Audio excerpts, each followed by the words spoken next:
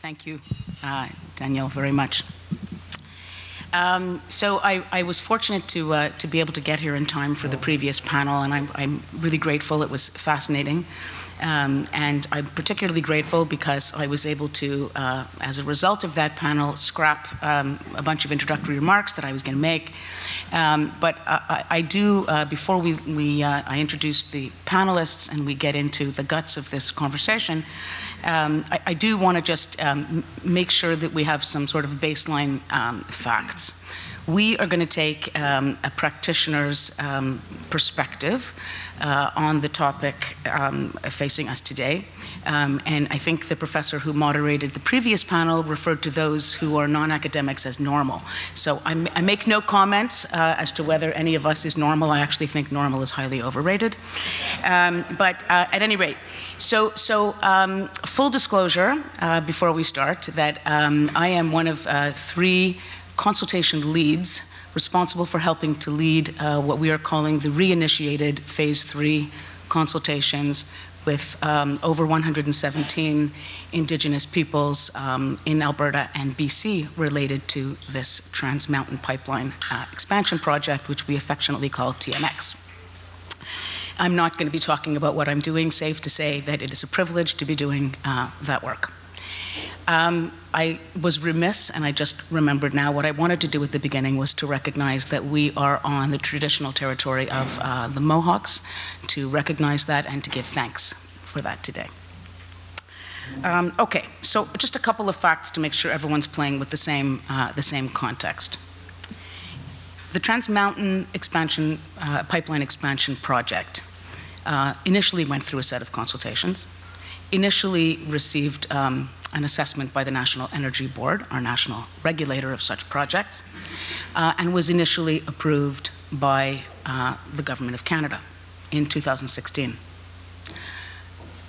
There was a lawsuit, judicial review to be precise, and the Federal Court of Appeal on August 30th of 2018 quashed, let's just say they quashed the federal approval of the project. There were a number of flaws that they found, but I'm really going to boil it down to two. Um, the court found that the National Energy Board had neglected to consider the impact of increased shipping that would result from the project on marine life. Um, and the second flaw, the second major flaw that was found, was that the Crown did not adequately fulfill the duty to consult with impacted uh, Indigenous communities. That the Crown did not engage in, I think one of the panelists referenced it this morning, meaningful two way dialogue.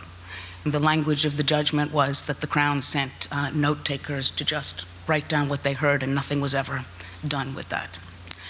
Uh, at any rate, on October the 3rd, the Government of Canada decided it would not appeal, because it was a Federal Court of Appeal judgment, it could have been appealed to the Supreme Court of Canada, and the government decided not to appeal, instead, to go back and do two things the right way.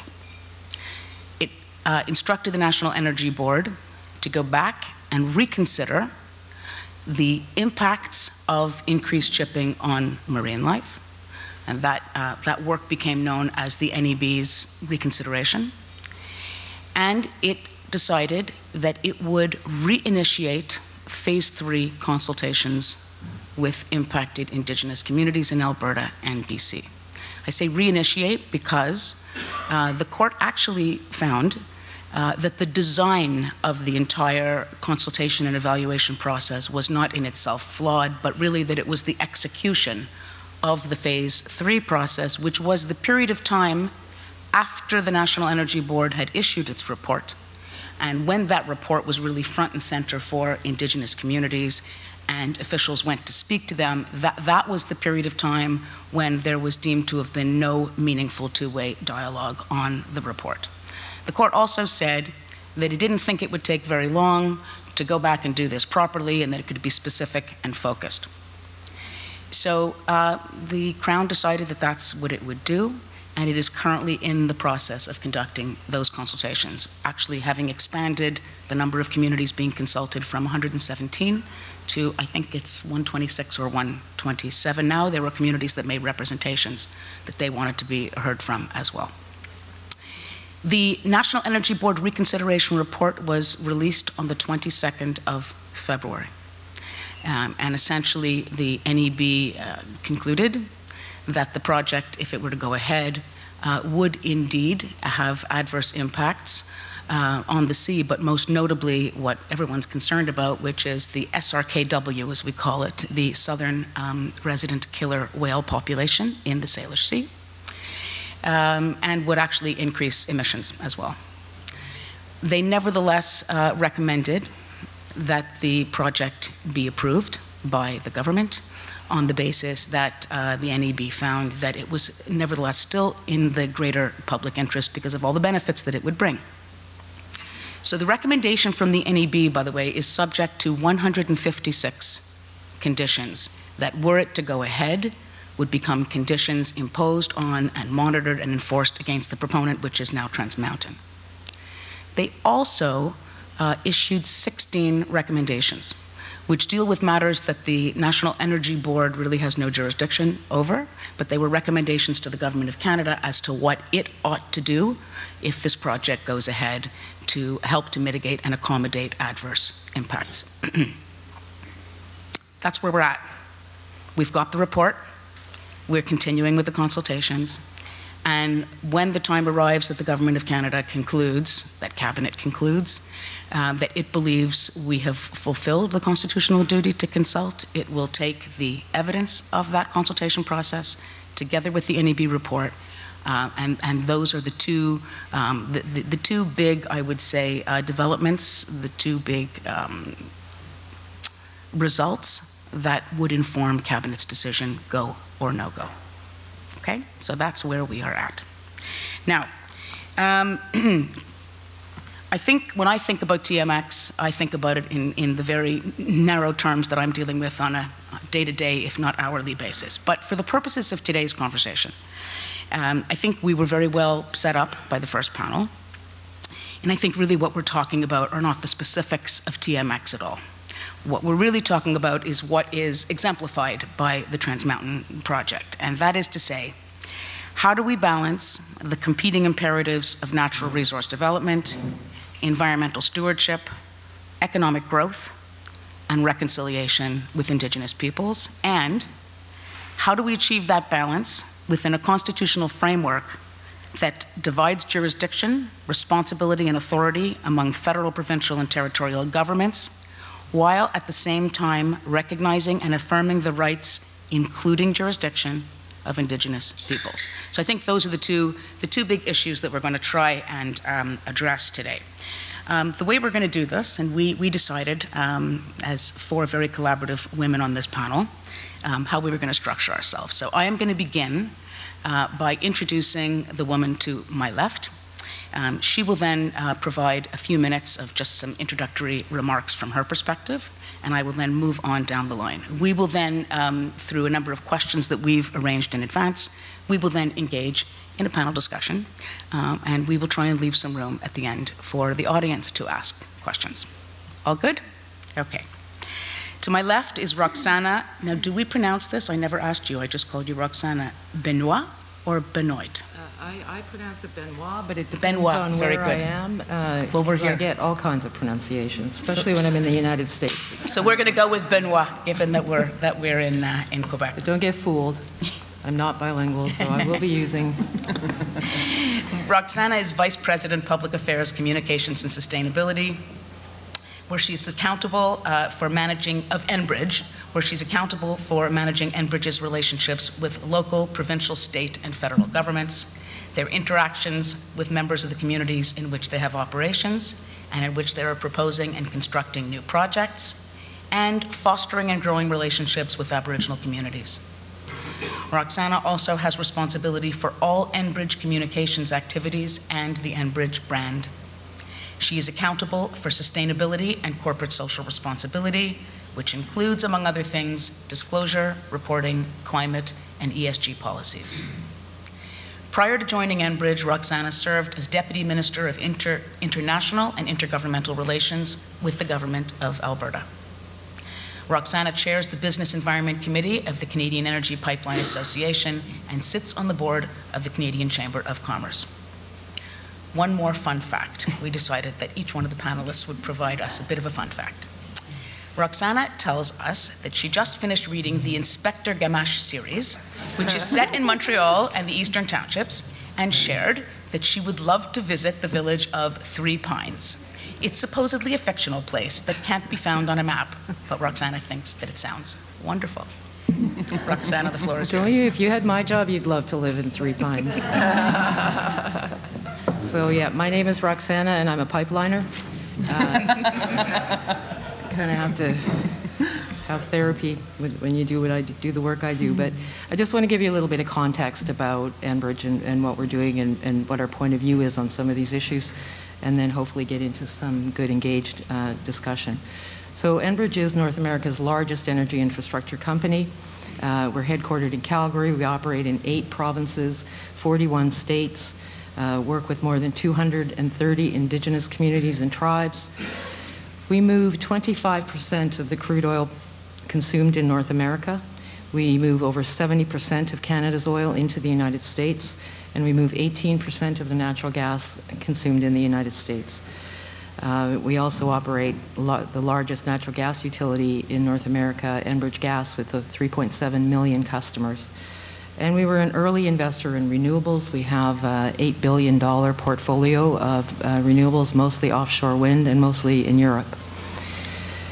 We are convinced, and it, this goes to some comments Chris made in the earlier panel, that there is no single pathway to meeting the growing global energy demand while reducing global GHG emissions. Emissions reductions have to happen across all energy sources. There's just too much uncertainty to limit our options. If we want to materially reduce global GHG emissions, we need to keep that solution space as broad as possible, and that includes innovation in the oil and gas sector. So how do we, as a, uh, as a pipeline company and our peer companies, find ourselves as this kind of bullseye in the public policy debate in Canada and, frankly, in the United States today? Uh, as I said, we operate in a lot of jurisdictions. So by, by its nature, that kind of compels us to be directly engaged in public policy debates uh, and in public policy advocacy and government advocacy because those debates and outcomes are not theoretical for us. They have real and direct impact on the communities that we work and operate in and, and on our business. And I guess because of that, our projects and operations have really become the platform for many competing interests to voice their views.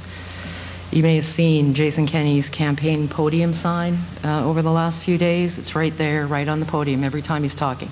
Jobs, economy, pipelines. So, many very challenging policy issues seem to be tangled up in the question of whether or not we should build a new pipeline. Climate change and environment, regulatory reform, uh, indigenous reconciliation, just to name the easy ones. Uh, and what, so what role can we play in trying to balance interests and find a solution? Uh, first of all, the, the, polarized nature of these debates has really, in our view, blurred the lines on what it is that we're actually trying to achieve. Stopping a pipeline won't reduce global demand for fossil fuels or low, lower global GHG emissions. Even the Environment, Environmental Defense Fund said that recently in New York when they said that opposing all pipelines is not effective climate strategy. Stopping a pipeline won't provide capacity growth or economic opportunity and development for indigenous communities, and it won't ensure that they continue to participate with us in activities related to environmental protection and monitoring of air, land, and water. In fact, you have to wonder what stopping a pipeline really will do, because the one thing we know it will do is, uh, is put Canada at an economic disadvantage in the global economy. The lack of investment in sustainable energy infrastructure and development will in fact have the opposite effect of what many people see as the objective of these debates. Indigenous reconciliation, economic opportunity, reduced global GHG emissions, and continued increasing living standards in Canada and around the world. So what do we do? How, what do we do about that? I mean, I, we really think that we need to broaden our public policy debate to actually reflect the balance that's required. For example, we have strong environmental goals, we have the pan-Canadian framework, but we have no energy policy. So how, how are we making decisions uh, in, in what is a huge gap in our view? And we have many, many very conflicting, uh, often conflicting voices talking about what Indigenous interests and reconciliations really are. And then we have Bill C-69, which we'll probably talk about, which, which in our view is really uh, not only going to continue to hamper competitive and investment, but continue to create these never-ending policy debates on a, on a project approval platform, which is not where those policy debates can be resolved. So this could all sound very confusing and very hopeless, but if you listen hard enough, you will hear what Canadians want. And Canadians are saying that they want affordable, reliable, sustainable energy, and they want an economy that allows them to take care of their families. And that should be something that we can accomplish in Canada. Thanks, Deborah. Thank you. Um, thank you very much. Thank you very much. I, I, I, think, Roxana, that you set us up very well. Okay. Um, to Roxana's left, Renee Pelletier is managing partner at Olthuis Kleer Townshend, affectionately referred to as OKT. Renee is of Maliseet descent and grew up in Fall River, Nova Scotia. Her practice includes work on Aboriginal and treaty rights litigation and specific claims. She has litigated judicial review applications and appeared before various levels of courts on motions, trials, and appeals. Renee was cited by the Supreme Court of Canada in the high profile case of R versus, I'm not going to pronounce it properly. Ipeelee. Ipeelee. Renee regularly advises and represents her Indigenous clients on consultation matters, regulatory and environmental matters, reserve land management, and impacts and benefit agreements. Renee has also served as a member of the Independent Federal Environmental Assessment Expert Review Panel. That's quite a mouthful. The panel engaged Canadians and Indigenous peoples and provided recommendations to the Government of Canada on reforms to federal environmental assessment processes. Now, for the fun fact um, about Renee Pelletier. A fun fact about Renee is that she was a professional salsa dancer in her 20s. And I want to know when in her 20s was. Honestly, it looks like right now. I would also note that Renee is currently gearing up to start a three year Aboriginal title trial in April, which, if it doesn't settle, will be the longest trial in Ontario's history. Renee, the floor is yours. Thank you, Deborah. Uh, un grand plaisir d'être ici. Merci beaucoup, Daniel, pour l'invitation.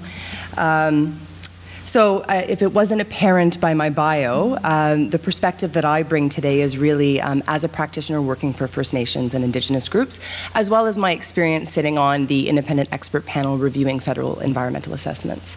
Um, so, Deborah, one of the questions that you wanted our, our panel to try to address is how we can achieve a balance of competing imperatives within a constitutional framework that divides jurisdiction, responsibility, and authority among federal uh, provincial and territorial governments, while at the same time recognizing and affirming the rights, including jurisdiction, of Indigenous peoples.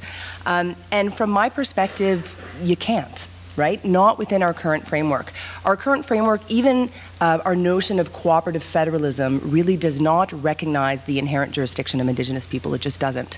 Um, we have uh, uh, these concepts of, federalism here where, where the federal and provincial governments uh, consult with First Nations. First Nations are not viewed as another order of government.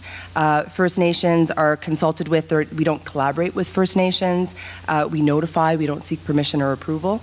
Um, and so, so to me, uh, we keep, uh, you know, as, as was discussed in the first, in the panel just before this one, um, and the TMX pipeline is a, is a perfect example. We're, we're trying to fix this problem, and I, I think what we're not talking about is, is how you, we can't fix the problem in the current system, right? The system, I think, really needs to change. And that's something that presumably the federal government, Canada, has, has recognized, right? Um, Canada came out with its 10 principles that are supposed to guide its relationship with Indigenous people. And I just want to read number four. Principle number four is the Government of Canada recognizes that Indigenous self government is part of Canada's evolving system of cooperative federalism and distinct orders of government. That's huge. I have yet to see that actually materialize on the ground. But that, you know, that's that's a really, really, really big statement. And so, you know, what's needed to make that happen? Do we need to amend the Constitution? I, probably at some point that would be nice, but I think there are things we can do now, right? I think there are things we can do now. And, uh, and I was actually given the opportunity um, to try to do a little bit of that thinking and work around how we can accomplish that um, in, the, in the space of environmental assessment. And so, uh, sitting on the panel, uh, reviewing and the independent panel reviewing uh, federal environmental assessment processes, part of the terms, part of our terms of reference was uh, we were asked to reflect the principles of UNDRIP in our recommendations to government. Um, and of course, the, the uh, principles of UNDRIP, as we know, sort of one of the foundational principles is the inherent right of self-government. Um, of, of ind indigenous people. And so that was a responsibility that I, I took really seriously.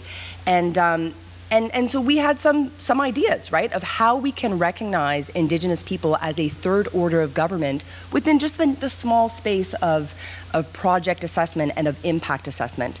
And so we proposed, I'm just going to sort of highlight some of the key recommendations that we made with respect to this issue. There were a lot of other recommendations about non Indigenous matters that we made. But with respect to this, we, we proposed a process that had Indigenous people integrated throughout the process. So, including at the very, very, very beginning, where Indigenous people show up. Um, and, and, sit down with the federal and provincial crowns, depending on the project, um, and map out what that particular assessment is going to look like. So this kind of planning phase really would have allowed Indigenous people to be at the table as another order of government. So when you think of a project that has both provincial and federal implications and that calls for what we call a, a joint review panel, what happens is you have the feds and the province come together and say, okay, we're going to do an assessment together. And the federal government says, here are the things that I have jurisdiction over, and here are the things that I need assessed. And the province says, same here, you know, here, here's my list of things, right? And then, and then the assessment covers all of those things, right? It, it covers both jurisdictions. So in our, eh, our model had indigenous people, indigenous governments coming to the table and saying, here are our five things, right? And those things get integrated into the assessment, as opposed to indigenous communities coming after the fact and saying, well, your assessment didn't consider X, Y, and Z, right? So it makes sure, make sure, it makes sure that those concerns are, uh, are, are integrated from the get-go. Um, the other thing that we had was Indigenous people conducting studies that impacted them, right? So rather than having um, the proponents consultants go off and do land use studies on behalf of indigenous communities or traditional knowledge studies. Um, you actually had the indigenous communities being the ones conducting those studies. It also had indigenous people sitting on committees that reviewed the studies of others. So really, they're completely integrated in the process. And then finally, the, the main, the, like the biggest one, I think, the, the key was that consent was sought like true consent. So a project would not go ahead if the consent of impacted communities uh, was was not um, was not given. So. For those of you who have um, taken the time to read the 124 page report of the expert panel um, and then taken a look at Bill C 69, which is what came after the report, um, for those who haven't, a bit of a spoiler alert. There is nothing in the report that got reflected in Bill C-69, or very little. So there was no uptake on this recommendation, um, which, which I think, you know, in my, in my legal practice representing First Nations, I can say was, was very frustrating for a lot of people. Um, but I think sort of my, my call out to everyone today is despite the fact that those ideas were not taken up by government, I think that there are things that we can do today to try to resolve some of these problems. So I would really call upon um, proponents. Uh, start engaging indigenous communities, and there are many proponents, proponents who are doing this now, at the very, very, very, very early stages, right? Um, address indigenous concerns right away, collaborate with them, plan with them. Um, and then for government, start really treating indigenous communities as another order of government, as another jurisdiction. Get their consent. Don't don't have a process that seeks to or that has an aim to or whatever other sort of like language around consent just get consent. Um, and i think if we can do those things then my hope is that we actually will see a lot more projects go ahead and get approved. That's it. Thank you. Thank you renee. So be before I move on to introduce um, our next panelist, I feel compelled to say although it's going to date me, but that's fine. uh, we actually did try and amend the Constitution multiple times. And for those who um, are gray haired enough to remember, the, uh, the failed 1992 Charlottetown Accord would indeed have recognized uh, not only the Indigenous uh, inherent right of self government within uh, the existing Aboriginal and treaty rights of Section 35, um, but uh, would have recognized Indigenous governments as, and I quote, a third order of government. And the way I used to think of it and, and argue with people about was to say, I know this is an oversimplification for the academics in the room, you have Section 91, and that has federal uh, lawmaking authority. You have Section 92, and that has provincial lawmaking authority.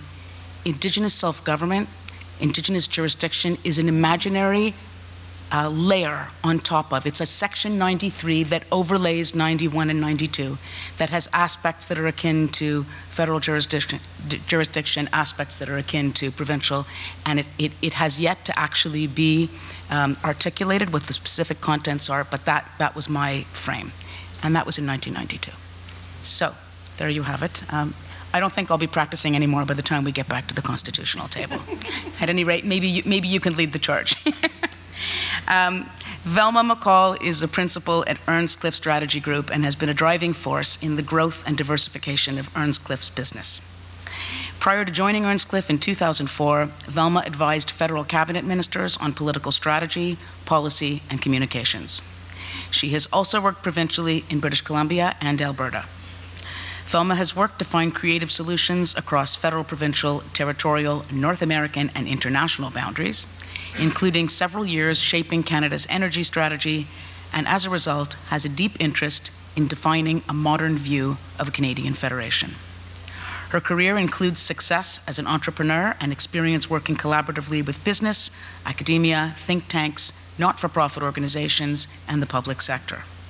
A proud mother and Westerner with 20 years' experience in Ottawa, Velma studied at the University of British Columbia and the Banff School of Management. Now, what you've all been waiting for is the fun fact. Oh no, this is not quite so fun. Velma has played a leading role in the Canadian Clean Technology Coalition, Women in GR, Smart Prosperity, the Ryan's Well Foundation, and EcoTrust Canada. But her three latest reads are Becoming by Michelle Obama, Dare to Lead by Brent, uh, it's Brene, I think, Brene. Eh? Brene Brown, and The Source of Self Regard by Toni Morrison. Velma, the floor is yours. I, I would just you. say I've known Velma for a long time, and she's a lot of fun. yes, well, and Roxana and I have known each other a long time, so. Um, and we've been on the road a long time as practitioners because as practitioners on the ground, um, we come face to face with many of the challenges faced by the by the structures we have, not the structures we wish we had.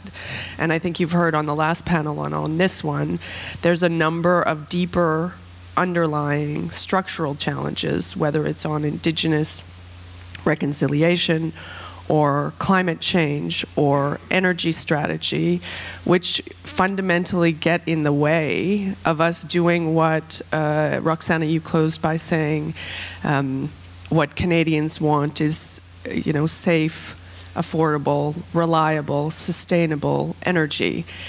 There's, we have we have challenges. So I mean, look, a lot of the last maybe 100, but for sure the last 20 years of practice has been working around this, the structures that we, that we find ourselves in. So the perspective that I'm going to add uh, right now is just a bit, a bit, a bit of a reminder of what the boundaries or barriers are that that those of those people who are practitioners face when they're trying to move something forward. Um, uh, if I was to take Deborah your section 93 a way that you would manifest that that was true is that Indigenous leaders would show up at a First Ministers meeting or would show up at the Council of the Federation. The way that happens now is Indigenous leaders meet the day before somewhere off-site and then and then our constitutional bodies meet the following day. I mean, so and and the involvement in the conversation is much different and what people hear etc which tends to lead into the you know and let's just face it we're really describing something that has a lot of dysfunction in it we're working around dysfunction um, so when i I've debated uh, for a long time about what a modern view of the of the federation would look like, and you, we have many experts. So I, I, I, I walk gingerly into this territory in my among my academic uh, confrères and uh, consorts here, but. Um, if we think about energy, Canada largely has a, balkanized view of energy, uh, of ourselves as energy players. And th- that balkanization, I would argue, uh, comes about in two ways. One, it comes about because of the fact of our geographies by jurisdiction. British Columbia and Quebec are hydro provinces. Alberta is an, is an oil and gas province. Uh, Manitoba is a hydro province. I mean, other provinces are jurisdictions those are both in terms of how we produce and export energy and it's also true of the electricity right? And if you the, the other the other way that this expresses itself is that we as a country have essentially created 13 balkanized jurisdictions for electricity with very little crossover. There is more north south transmission of our energy than there is east west and I'm not suggesting at this table that we should be looking for an east west grid or anything like that, but we need to understand that we have long standing views of ourselves as independent geographical players in energy. And that, for me, right now, I just see that playing out day after day after day in the headlines around pipelines and around electricity because when we have a view that we're a, a, a uh, island, an island unto ourselves, then British Columbia doesn't have to care that Alberta's energy to get to um, Tidewater has to go through its jurisdiction. We think only about the values that we hold in our, our piece. So for me, this conversation where we're going to go with this is all very much tied up in us moving away from some historical tensions, because some of those uh, tensions also, I've described that in terms of energy. We also have historical tensions that exist because of climate change, and that exists going back to the Kyoto Protocol and the dynamics that developed between Quebec and Alberta. And today we're talking about whether we should be trading permits between jurisdictions well, that would mean that we would have to have some level of cooperation within the Federation. And again, at this moment, there's more cooperation between jurisdictions in Canada and jurisdictions in the US about how they might par- participate in a cooperative system around climate change than there is within the jurisdictions and that cover that said the resistance was just you know a big fat exclamation point on on that one and then in the area of indigenous reconciliation, I just would I just would offer this that um, the, the last panel talked about uh, it's not it's not helpful to keep finding ourselves uh, ending up in the courts on indigenous reconciliation. But I think we have to be honest about the fact that the reason that we keep ending up in the courts on indigenous reconciliation as it relates to projects and other things is because the federal government uh, and provincial governments haven't acknowledged deeply their duty to consult, and so they outsourced, if you will. This is my view alone. They outsourced that responsibility to uh, companies, and so companies ended up, you know, if we think about in terms of a difference between law and convention. By convention, companies have developed impact benefit agreements. I mean, that's essentially an impact benefit agreement is essentially a workaround. Mm-hmm. It's a workaround a system that doesn't work. So it allows a bilateral relationship between a company and a First Nation, Inuit or Métis, about what should happen and what the breadth of the relationship should be but it doesn't address the duty to consult. And so the reason that we end up in courts is because we've hit the end of, again, my view only, you probably have a strong view about, this. We've hit the end of the, the line on what impact benefit agreements can do because they don't fundamentally recognize the right to economic participation for Indigenous peoples in resource projects. And so now we're finding ourselves having to move and actually address what those underlying and fundamentally flawed uh, structures are. So sometimes it's hard to be the play-by-play commentator on dysfunction, but but and but but that is to a certain extent what we end up doing is we we end up finding things that will work around these deeper, more um, flawed un- underlying structures, and until we address those, then some of the challenges that everyone at the, on this panel and the, the people before us and many people well beyond this room face on a day-to-day basis um, will will be herky jerky. There won't be a smooth path to any kind of uh, development project, and that is part of the reason why who, I, uh, who were we maybe we were talking about it that uh, the deputy minister of natural resources went down to the to Houston and Oh, yeah. was kind of kind of got a a, a, sho- a shock, a wake up call because investors are sort of saying what is going on in Canada. Like there's so many mixed messages coming out of your jurisdiction. What are you doing up there? So. Um, Yes, with that, I will close it, and I'm sure we're going to have an interesting discussion. I'll jump in. So the best laid plans of my, my, my sentiment. We have questions, but Roxana's going to jump in. Go ahead. I, I just, I, I have to say, I find it slightly puzzling that the deputy minister would discover that when she went to Houston, uh, because we've been telling her that, the industry has been telling her this for years, the last, the last three or four years, that the competitiveness climate in Canada is, is, uh, is, is in such bad shape that we are looking around saying, I don't know if we can invest here anymore. Uh, in the United States, uh, the, it, it is the opposite of that. It's competitive for business. Like we, we are competing hard to get new business, to get new business on the Gulf Coast. Now that the United States is exporting oil, that Gulf Coast is a huge opportunity for us because it is market access beyond the United States. So we're, we're looking hard at how we can be participating in all of that. And that is going to take away from investment in Canada. And that's just, that, that, that's just the way that the market works. Um, so I have to say I'm a little surprised that the deputy discovered that there, and I'm probably overstating it. So, I, but because we've been having this conversation for a few years. Um, I do want to just add also to, uh, because I agree with a lot of the points that Renee made, and that is what, what she laid out is exactly what we as, as proponents and operators are doing. In fact, we're, we're completely moving away from a focus on engagement with Indigenous or First Nation Métis uh, only around projects. Like that, that's just not good enough. It's just not good enough. We are we're implementing and our habit are doing it now. What we call inside Enbridge life cycle engagement. Mm-hmm. So we're talking. We we work with these communities for 70 years. Our our pipelines have been going across the right of way that goes from Alberta. Saskatchewan, Manitoba into North Dakota. That's been there for 70 years.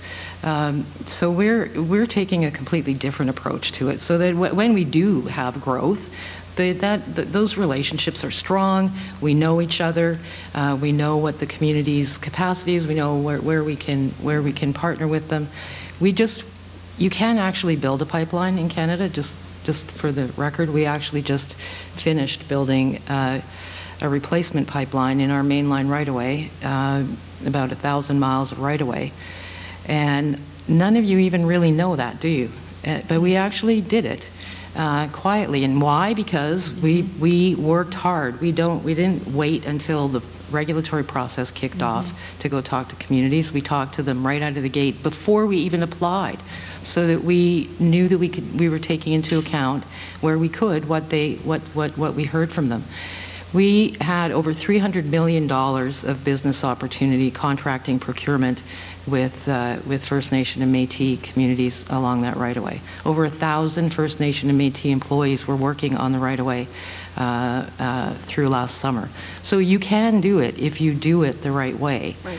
Uh, and uh, that, but, but then we get into um, and we're familiar with those communities. They, they know us. They know the oil and gas business. I mean, these are communities that I've had them in my office. Some of them, some of some communities from northern Alberta, in my office asking for help because the, their their revenue from energy re, from resource development has diminished so significantly over the last while. They have no revenue stream coming into their community.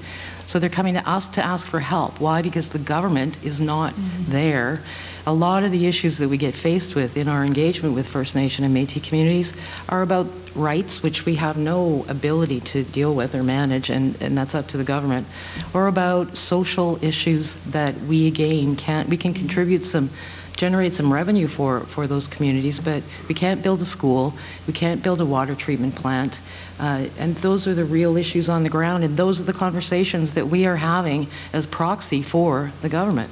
So you look at TMX and you look at, I'm still a little uh, scarred from Northern Gateway, but it, it, it, you know, you look at those two projects. It wasn't the proponents that did mm-hmm. anything wrong, the core, uh, according to the, the, the decisions. It was the government. Mm-hmm. And in TMX, they, they decided to go back and try it again. In Gateway, they said no, then imposed a tanker ban on the North Coast with no consultation whatsoever with the First Nation and Métis communities that were impacted. So this is why the system is, is really not working, and you have to work really hard as a proponent and operator to try to, try to make a difference and have an impact. I, my last question is consent from who? Because that, that, that's a challenge that I think we need to work with Indigenous First Nation Métis communities on because we get consent from the legal, legal body of the elected council. Uh, but where do we go from there? Because that now is looking like it's not enough if you look at Coastal GasLink. So there, I think where that takes me is that there needs to be some coherence on this within the First Nation Métis community as well, as who speaks for the community and who can who can who can oblige or enter into agreements for the community. So I, am going to I'm going to turn to Renee on this, but but before I do, I, in fairness, I, I just want to say I, I think the point was um, in conversation with natural resources was not that this was news to them, but that this year in particular, mm. being in Houston, um, the, uh, the, there was intense recrimination from um, industry in the U.S. about you know why Canada couldn't seem to uh, to get its house in order. So it was it was less that you know it was news to us, but just the intensity of what was uh, what was communicated. So you know I, it strikes me that really it's a bit of a chicken and egg um, argument that we're having here because I think everyone would agree that there are um, structural challenges that underlie everything everyone spoke about both on this panel and before lunch. Um, and so it, you wonder what, what comes first. It feels now as though issues of rights and jurisdiction are being um, uh, kind of elaborated and, and defined and struggled with on the backs of a resource development project, which arguably is, is not the ideal place for them to be worked out. So I would turn to you, Renee, and ask you for your, for your thoughts on that and how we can get short of constitutional amendment, which I don't suspect is around the corner. Well, really, I think Roxana touched on it, right? And, and I, in my opening remarks, acknowledged that there are proponents who are already doing the things that need to be done. Um, when I was on the expert panel and we were doing our cross-country, you know, engagement or consultation sessions, um, small c consultation, uh, we were hearing from Indigenous groups across the country about their uh, their experiences with uh, with resource development and across the country it was the same story. You know we uh, there's this huge project in my backyard. I'm finding out about it too late. Um, i'm being asked to review binders and binders of technical documents. I have no capacity. Uh, there, you know a couple jobs are getting thrown at me. It's awful. And then all of a sudden we got to saskatchewan and we were in uh, three communities from southern saskatchewan and i wish i could remember which ones but showed up and they're the chiefs and they were talking about how they loved their mining partners or their mining neighbors. And i was like what and they were, you know, had nothing but great things to say about uh, this development in their territory and the mines that were there. And I was like, I have a million questions for you. Like, how did this happen? And it's exactly as, as Roxana said. These uh, companies had come to the communities before even putting in um, development applications, right? They had come and they said, hey, we have, uh, uh you know, we're, we're, thinking of developing this mine. Um, we'd like to work with you. And these communities had actually drafted the environmental impact statements with the proponent. And so the communities had completely bought in. So all throughout the process, their concerns had been addressed. They were benefiting from the project. Like, and it's, it is. It's unfair that that fell on the proponent because I, I specifically asked those communities, and where was the crown in all of this? You know, and the crown was nowhere, right? So, so that's a big problem. And I feel like now I've gone off on a rant and not answered your question. It's okay. All, it's all, easy all to rant welcome. about this stuff, though, right? it is easy to rant about this. stuff. Maybe I will just uh, continue not answering your question and touch on something that um, Roxana you just said about consent from whom, right? And and I don't I don't have an answer for that. I think I do think though I will say it's easy. I think for people who are nervous about change to point to pipelines, which are complicated, right, and point to British Columbia, where there's a ton of overlapping claims, to say, we can't do it. We can't get First Nation consent. It just can't be done. No one said it was going to be easy, right, is, is the first thing. Um, I, I want to give an example of, um, well, first, I, I think, though, the solution lies in something that Martin said earlier today, which is really developing processes. And so when I spoke earlier about the, the recommendations that the um, expert panel had on on, on engaging Indigenous jurisdictions and involving them in the process from the beginning. This planning phase I had talked about is when the communities would sit down with the proponent and the crowns, and, and by crowns I mean you know federal and, and provincial governments, and say, here's who speaks for my community. Like all of that would get mapped out in the beginning, as opposed to this reaction, right? We're in this reactionary situation where communities are, you know, sometimes it looks like the project's a fait accompli, and then you have an elected government who, well, I, I don't want to miss the boat and have my community not get jobs or benefits, and then you have the grassroots people who want to protect, you know, it, and so I think if you involve, if, if if you're looking, if you look at communities as jurisdictions and and address all those issues early on, right, then it, it can help. Um, uh, just one example of where sometimes I think we imagine that this is more complicated than it needs to be. I, I worked um, on behalf of a community, a Maliseet community in New Brunswick, uh, in their engagement with um, the Crown and a proponent on a proposed mine. And I remember when the process, that process started, the, both the Crown and the proponent were saying, oh, this is, because we, we were asking for um, you know, like true, uh, like true consultation, high-end spectrum consultation. And both the Crown and the proponent uh, said, "Oh, there are so many communities here, and it's just going to be too complicated. And what if one one community says yes, and there's Mi'kmaq, and there's Maliseet, and there's tension, and uh, it's just it's, it's too hard." And then and then remember the chief from the community I was representing was like, "No, no, no." We've been doing this for, for centuries. We've been deciding amongst ourselves who has the right to speak for what territory. So we've already resolved all this. This you consult with the Maliseet on this project, and like you've already yes, we've had meetings, and you know. So so sometimes I think we imagine that there's going to be lots of complication, but Indigenous communities have been deciding amongst themselves, you know, resolving these issues forever, right? I, I think I think it bears noting that. Um, we have to be very cautious about um, viewing indigenous peoples across this country um, as one homogeneous, mm-hmm. Um, mm-hmm. I don't even want to say stakeholder because they're rights holders, they're more than stakeholders. Mm-hmm. Um, they, they, really, really are not. Um, even within a region, the, the, differences and distinctions among and between them are, are vast. Um, so yeah, it's complicated. In some places, not so much. In other places, uh, extremely, extremely so.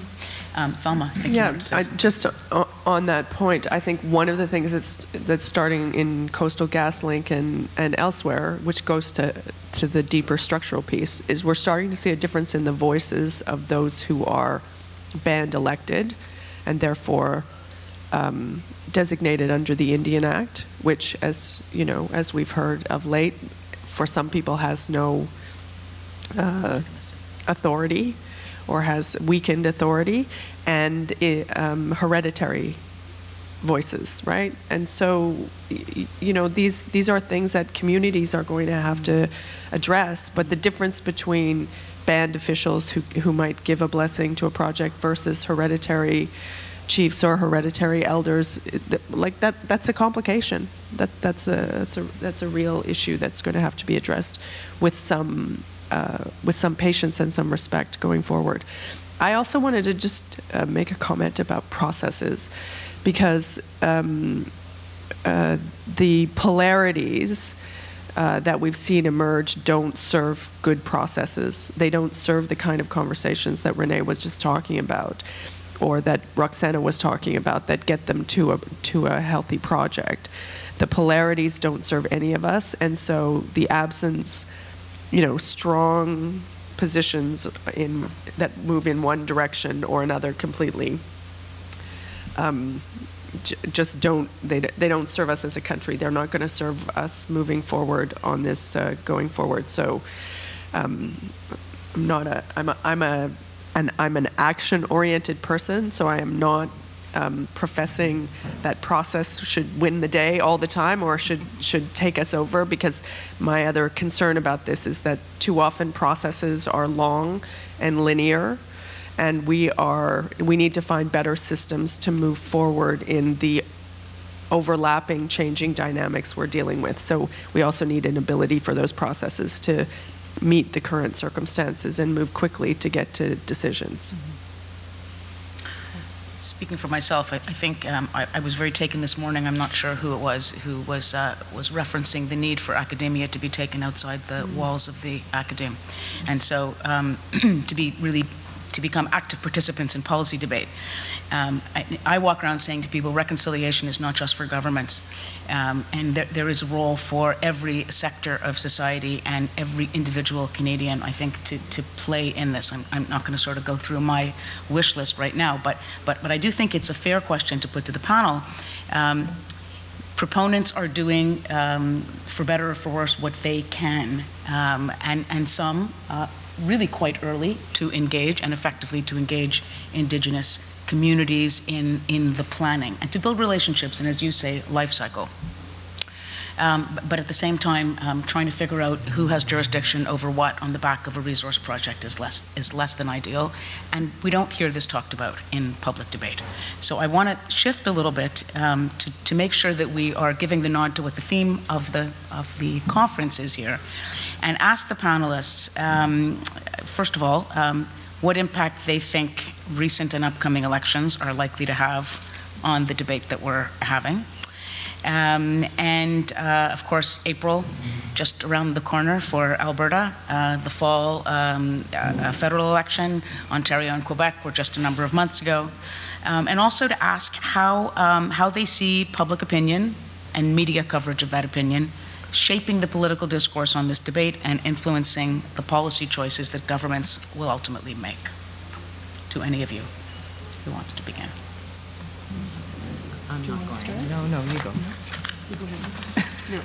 She- yeah rule we, da- we all just want to leap into the I've spoken too much already. no Uh, so, to be honest, uh, I don't know. Maybe I'm I'm so jaded. Um, I I don't think there's going to be in, from in, from the indigenous perspective, not that much change, and I'll I'll tell you why. Um, I think having uh, practiced um, law, you know, for Indigenous communities uh, in Harper times, and then when Trudeau um, formed the government, and there were all of these promises, I was convinced things were going to change, right? Um, and not much has. Um, there's lots of funding for consultation, and there's lots of talk, and uh, there's yeah, lots of engagement. But at the end of the day, not much has changes, and not much has, has changed. And I will say that there are, um, I have some law partners who have said that it was almost better under Harper because at least you knew what you were getting. Like at least there was some honesty around. We don't really care what you have to say, Indigenous communities, right? I don't know if I would go that far. Um, so, I mean, that being said, I practice a lot in Ontario, and I have seen with with the Ford uh, government some uh, some changes, not for the better, with respect to. Uh, I, I had a big settlement discussions that were happening for one of my claims, and uh, Ontario was on board and wanted to reconcile, and then and then Ford came in and those talks stopped. So there there certainly has there is some impact, but. Um, yeah, I, I think being on the ground, one of the things that I realized is sort of the, the discussion, the discourse that you hear is not always trickling its way down to sort of on the ground what communities are actually seeing, and, and a lot of times things kind of remain the same. Sana? Uh, some of you may recall a campaign in the midst of time uh, where someone said campaigns are not a time to talk about policy. Oh, yes. And I, And I think that that might be true, actually, because the, it, the way that politics is played now, uh, competing interests, competing ideas, like that's a wedge. So let's get in that wedge and carve out those thousand votes that we need in order to take this riding. Or and so rather than campaigns being about trying to pull to, pull people together under some big idea, that's not how I see it anymore. I, I see it as like finding those differences and exploiting them. I don't like it. I, I, think it's, it, it, it does not contribute to good policy. It doesn't contribute to good elections. It contributes to the divisiveness that we see in, in, in our communities. But I think that's the reality. And I don't see these campaigns being much different. Yeah, I would, I would say the same. Um, as I said, the divisiveness does not help us coming to a modern view, like a generationally modern view of what the of what the federation is. We don't have. I didn't hear yesterday the panel, but I heard at dinner last night. You know, like look at the look at the group of premiers we have. How many of them are really federalists? How many of them have a view? You know, you talk. I talk about the balkanization of energy. How many of those premiers are coming to a federal table with a federalist view or a, a, a desire to modernize what the what the federation is? A lot, there's a lot of, of wedge politics, as Roxana says, and on issues like this, it's not going to serve us in the short term, whether that's federal or provincial. Um, so on that, on public opinion, you know. Um, you know, on climate change, Canadians want people who are going to do something on climate change. They may have different views, more or less, about whether they like a carbon tax or they'd rather to they had a discount on a home energy retrofit or they'd rather buy a, an electric vehicle. But in general, their view is they want a government that's going to do something.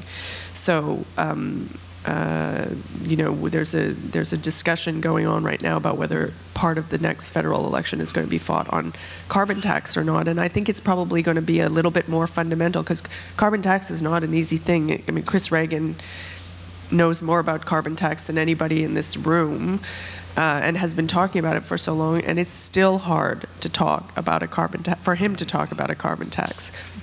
It's very hard to do that in the confines of a of a, uh, a campaign, the more fundamental question I think is do, is that do people believe that politicians are going to do something on climate change?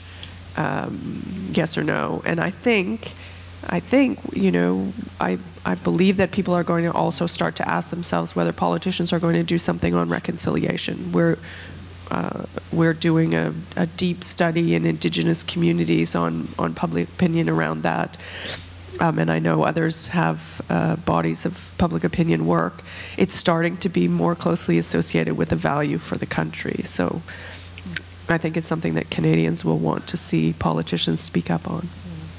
I just add one thing on public opinion. That if you believe everything you see in the media or, or read, um, you know, it's very divisive. There are all these issues that people are fighting about, but we don't, we there's a disconnect from that to what's actually happening in communities, at least in the communities that we work in and that we operate in.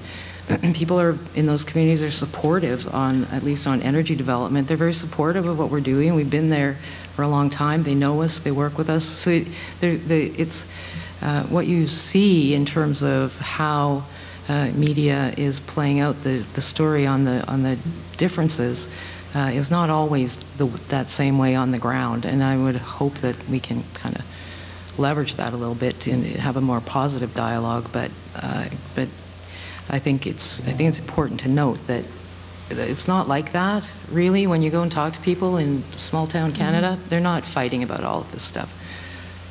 Yeah, we are. I, I mean, the, the ironic thing is that we are, after all, Canadians, and we do believe that balance is possible. Right we actually believe that balance is possible. So you're absolutely right. We've seen all kinds of studies that suggest that people do believe that getting energy, Canada's energy, across the country into export markets is, is something that they want to do, and they don't believe in a binary choice between no more energy production in Canada and doing a hallelujah moment on climate change. Like it, the the the it, the transition that that Chris Ragan described is, I think, something that Canadians can get behind.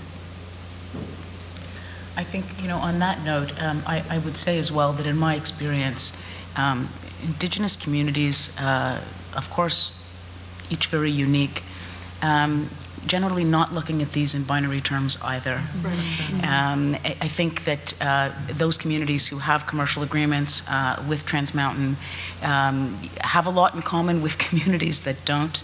Uh, they share views on many things. The fact that a community has uh, um, what they're called, uh, in this case, mutual benefit agreement with Trans Mountain doesn't mean that it isn't expecting certain important accommodations to come from um, the government of Canada, and rightly so. Um, so I, I think um, there's a lot more constructive conversation that's actually going on than, than a polarized world with a lot of social media um, yakking at, at, very sort of um, loud levels about things would, uh, would, would convey. So um, I, I think we're getting to the time where I should be opening the floor for questions. But before I do, I just wanted to ask the panelists if there are any questions that they wanted to ask of one another before we open up the floor. No, we're good? All right. So do we have microphone? If I could just have an idea. I don't have to make the speech about no long statements, just questions, right? I think, I think we're, we're in the waning hours of this conference, and people have heard that. And by the way, I should say, uh, dans les deux langues officielles, en français ou en anglais, on peut traduire. Hi, uh, thank you very much for, for this talk. Uh, I have a question for, for the whole panel. I would like to talk a little bit more about pipelines. Um, my name is that's Olivier Jacques. Yeah, that, that's your favorite subject. I can imagine that. Uh, so my name is Olivier Jacques. I'm a PhD student in political science here at McGill. Um, I, I, I, can't really get my head around the argument that uh, uh, you know building a pipeline would not increase oil production, um, and uh, that building a pipeline is coherent with uh, any uh, environmental policy. Uh, in my view, I'm under, I'm under the impression that without, we, you know, we see lower prices of oil in Alberta, um, lower prices than the market price uh, because there is no pipeline. That's pretty much what uh, the Albertan government is saying. And with lower prices, there is less production. Uh, production went down uh, in recent years. Um, and so um, I imagine that the, reverse relationship is true. Uh, with a pipeline, there would be more production, uh, which would increase uh, our greenhouse gases emission. Um, and so, um, I mean, it would, it would mean that Canada would produce more greenhouse gases, and that uh, means that globally we're not necessarily doing our part, our part. And then I can understand that it does not really affect uh, overall uh, demand for oil, but if we produce more oil, in theory, uh, prices should go down. And if prices are lower, uh, there are less incentives for other countries to shift towards uh, a greener economy. So I think that we, building a pipeline should have uh, an impact on oil production, uh, if I'm not mistaken. It has an impact on Canadian oil production, but not global. And that, uh, I go back to what Chris said this morning about global demand for oil is going to increase for the at least the next 40 years. And uh, consumption is going to increase for at least the next 40 years populations are growing, urbanization is increasing. All of that requires uh, requires energy, uh, and it all of it all of it requires fossil fuels. So we can stop producing in Canada and have pretty much negligible, if any, impact on global emissions. But the impact that we will have on our economy and our ability then to, uh, to actually support other economies in other countries to lower their emissions. Uh, you know, that, that's really, uh, that, that, that's, that's a key to this. So, like the LNG plant that was approved on the, uh, uh, in British Columbia, uh, there's, there's emissions related to that. But the emissions that will be reduced in other jurisdictions is, uh, is going to have a real impact. And so the, we, we, we, we seem to have lost the, what the objective is. The objective is reducing global GHG emissions. And in order to do that, we've got, we've got to find, find every solution that we can. And, and Canada has a role to play in that, no doubt. But our biggest role to play in that is by, by uh, by producing clean energy, by exporting clean energy, by supporting uh, by supporting clean energy development through uh, through technology and through transportation. So that that is uh, that's the premise on which. I mean, we can we can stop oil production in Canada tomorrow. What's that going to do to global GHG emissions? What's that going to do to people in other jurisdictions and other countries who want a better quality of life? Are they not entitled to the quality of life? I mean, those are arguments. It's all legit. I'm not. I think it's an argument we have to have. It's a discussion we have to have, but we seem to have lost the plot a bit. I'll give you an example that makes me a little, that, that's very frustrating because you look at New England, and in New England last winter, uh, the New England states are making it very difficult, if not impossible, to build uh, gas pipeline infrastructure to bring gas about 200 miles from a huge supply into cities like Boston. So instead of doing that, when it was really cold last winter, they burned 9 million barrels of oil and, uh, and, and imported an LNG tanker sitting, a Russian LNG tanker was sitting in Boston Harbor. So you tell me what sense that makes in the bigger scheme of things. Because we won't build a 200 mile gas pipeline, we burn 9 million barrels of oil and Russian LNG, which you can't tell me is, is, is a green LNG. So that's, that's the reality. and we can sit here and say, stop production and put ourselves in an economic, uh, in an economic, challenging economic situation uh, and really have no impact or very negligible impact on lowering global emissions. So those are the choices that we have to make. I'm arguing that we should make the choice that allows us to have some economic opportunity while helping reduce global emissions. Velma, did you want to add something to that? No? Okay. Yes, sir. Yes, my name is David Brown. Thank you very much for this, um, this talk. Um, I want to go back, tread back over something that was really discussed with the panel. That was really who, who are we consulting with? Um, because I think that that is really at the crux of a lot of what's going on here. Uh, it was suggested that they know who will be the person to represent their particular territory. But a lot of us were quite shocked when there were, in fact, I think 24 different bands in BC who had come to an agreement with the pipeline and then the hereditary chiefs all of a sudden appeared and did a roadblock.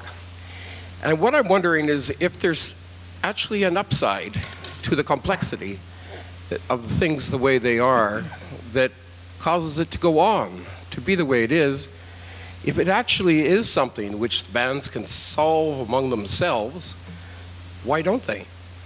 And it's something that has to be done if what Rennie is proposing would become forward, a third level of government, there would need to be a real sense of representation in that body that was coming forward to sit at the table. You can't have 500 different tribal chiefs at one table.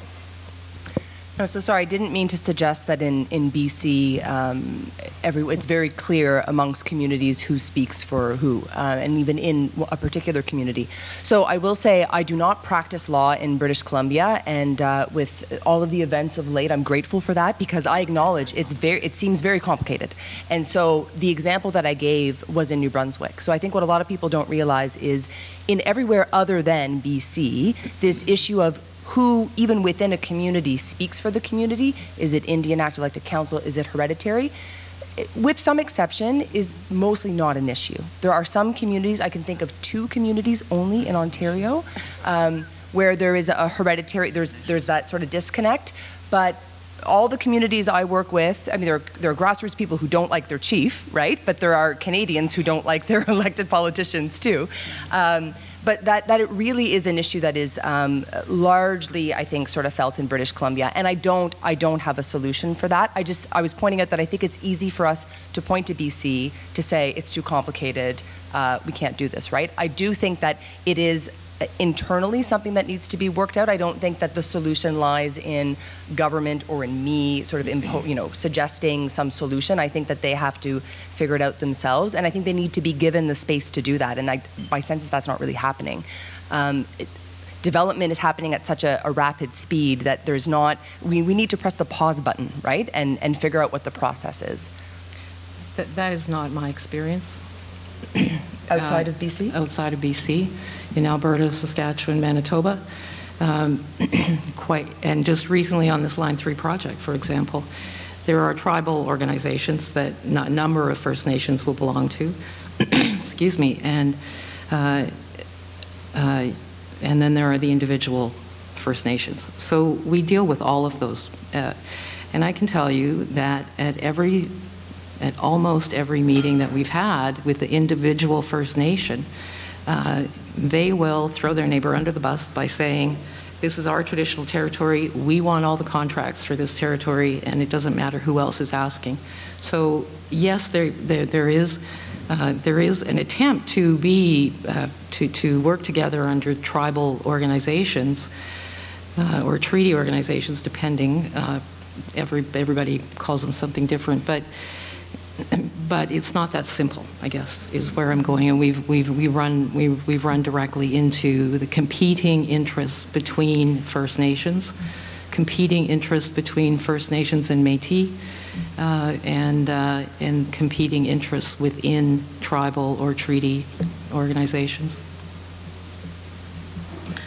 Um, yeah, before we move on to the next question, I, was just going to um, say that um, once again, your question really highlights, I think, that um, recognizing issues of jurisdiction, indigenous jurisdiction, and um, different orders of government is best not done on the backs of a resource mm-hmm. development um, project.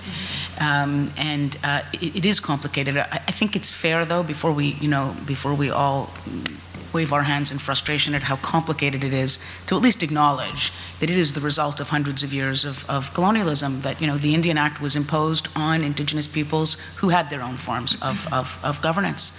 Um, and uh, that the result now of, of this all changing and sometimes not knowing, sometimes we have clarity, sometimes we don't, we do at the beginning and then it emerges that we don't, is really the result of that. So I, I do think it's really important to leave the space for, uh, for these kinds of issues yeah. to be worked out amongst themselves. But, but I, I hear you, and I know we are experiencing some of that. It, it is challenging for sure. Yeah, I don't want to leave the impression that it's not workable. Like we, we end up in agreements or find ways to get there, but it's not always clear. Uh, as to who is speaking for who, and it's not always clear that there are no com competing interests. Mm -hmm. Thank you. Uh, my name is Krista Schultz. I'm the program director here at MISC and a member of the political science department. Um, wonderful panel. Thank you. It's all very thought provoking. Um, my question, I guess, is directly for uh, Roxana Benoit. Um, you did mention that Enbridge, Enbridge is, is not just a pipeline company, it's an energy company, and uh, not just a fossil fuel company, but also uh, part of the mix in developing alternative forms outside of fossil. So I wonder if you could talk a little bit more about uh, the reality of how do we, we, we make a transition away from fossil fuels when the benefits from fossil fuel consumption are what will perhaps get us to developing the technology uh, to make these other forms commercially viable. Well, we're taking a pretty long-range view of this. We have invested in renewables. We're all, and we, we just two years ago purchased Spectra, which is a, a huge natural gas uh, transmission company. What did I do? What did I do? I just yeah. Okay, let me start again. So yeah, we we uh, we recognized a long time ago excuse me, that we need, we needed to uh, we needed to look at transition. We needed to figure out what what we would be as a company as we go through that transition. So part of that is our gas utility uh, business.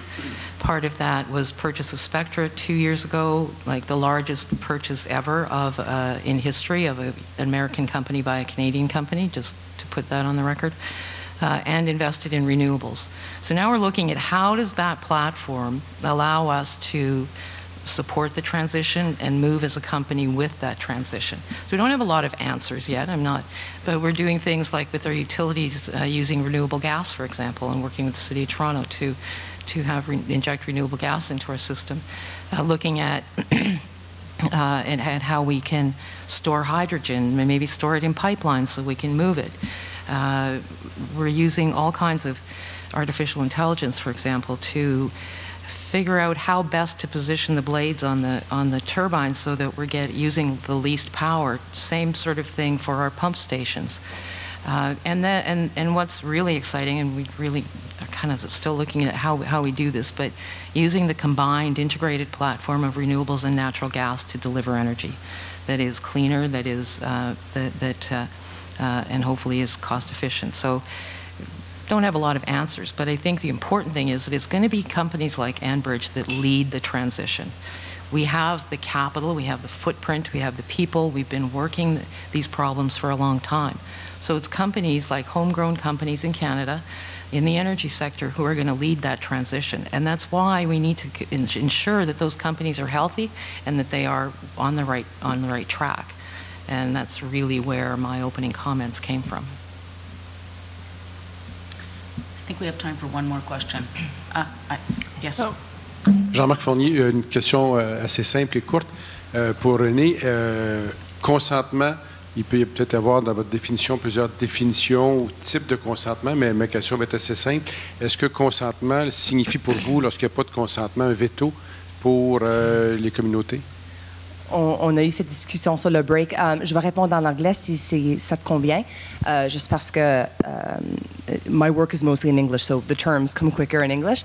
Uh, so the, the question for those who uh, don't speak French and have your headsets on is, does consent mean a veto?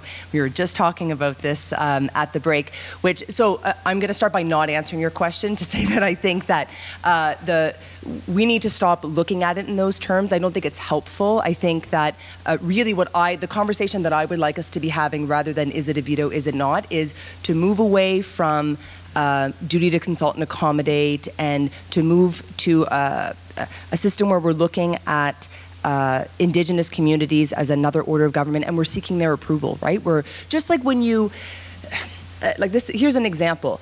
If you were, I, I don't want to liken First Nations to municipal governments because I think they're much bigger than that. But let's say there was a development uh, in Montreal and um, Montreal had to give its approval. People wouldn't be freaking out, worried that Montreal was gonna, oh my God, they're gonna stop the project. And no, it's Montreal's right to make the decision, right? And so if we start looking at First Nations as they have a right to, they have a say in things, right, then I think you get away from the whole veto discussion. That being said, now I will answer your question. I think that consent has to mean the right to say no. But I think that it it has to be reasonable, right? Any order of government, you can review any decision of government on a standard of reasonableness, right? When you bring a judicial review. So if if my example of uh, City of Montreal making some decision, you know, no one's freaking out worrying that they're going to exercise their jurisdiction irresponsibly, but in the event that they did, you could presumably review that decision and say, hey, Montreal, you just flat out big fat said no to this thing, and what, what's your basis for that? And if the City of Montreal can't back that up, up, then it gets quashed. And so I think the same standards should apply to indigenous governments. Oh yes, to all governments. I mean, that, that is actually is the standard that applies to governments, right? And, uh, and so I don't think it should be any different um, for, for indigenous governments. I think there's one question, and it looks like a student at the back, and I'm thinking, I, Danielle, do we have time? Well, there was, I don't know, who was first?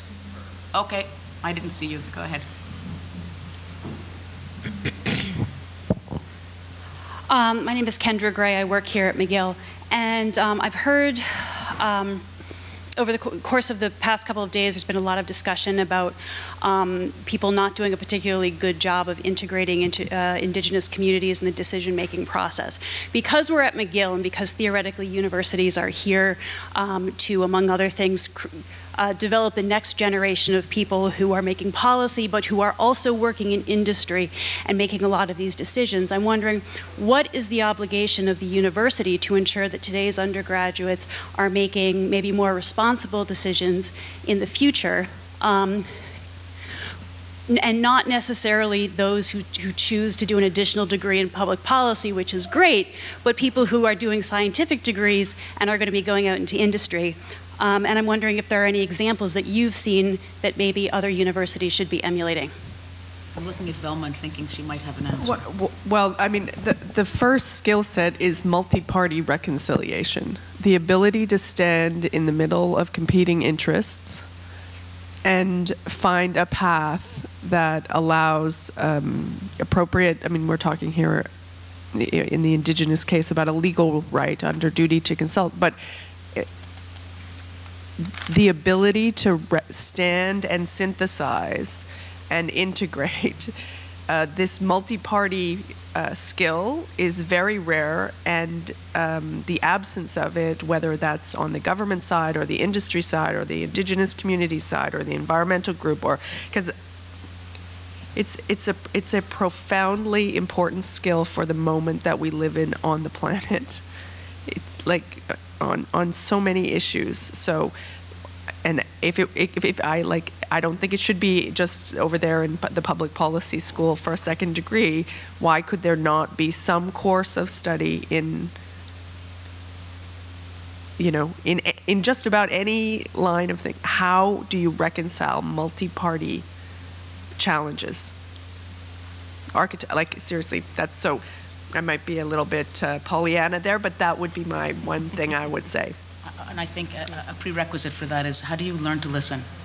How do you learn to listen and to hear um, disparate points of view um, and to be able to recognize them even if they're vastly different from, from yours? We could make that a compulsory course, couldn't we? Yeah, I'd be happy to help write a curriculum. I, I think, I think uh, we probably have to wrap it up now. Um, so uh, before thanking the panelists, I, I just want to um, say to the three of them that um, I feel as though if we took the four of us and locked us in a room for I don't know how much time, I think we could probably solve a lot of these, a lot of these issues. Here, here.